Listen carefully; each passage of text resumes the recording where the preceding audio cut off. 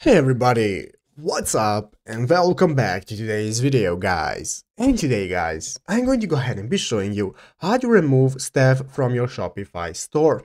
This is a very simple thing to do guys, so make sure to watch this quick and easy video till the very end and follow my steps correctly so you can make sure this works the same for you and that you can do this yourself.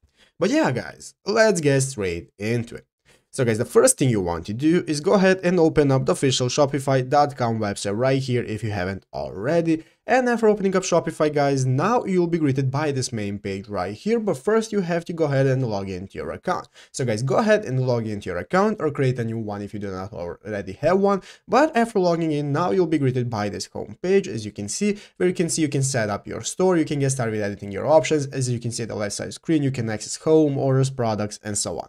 So guys, now let's go ahead and see how to manage our store and remove stuff we do not want. So as you can see here at the bottom of the screen, we can find the option that says settings at the left side of the screen. Go ahead guys and open up settings. So guys, after opening up settings, now this will open up this new menu where you can see all the settings that you can edit. And as you can see the left side screen, here we have all the sections such as store details, plan, billing, and so on. What we want to do is go ahead and open up this section right here called users and permissions. So this is users and permissions, guys. As you can see here, we can see all of our stuff that we have on our store. So here is our staff guys and if you want to add more staff you can click the add staff button right here but if you want to remove them then all you have to do is they will appear right here if they're in your staff. You just want to go ahead and click on the delete button next to their name and this will remove them as staff and they will no longer have access to your store.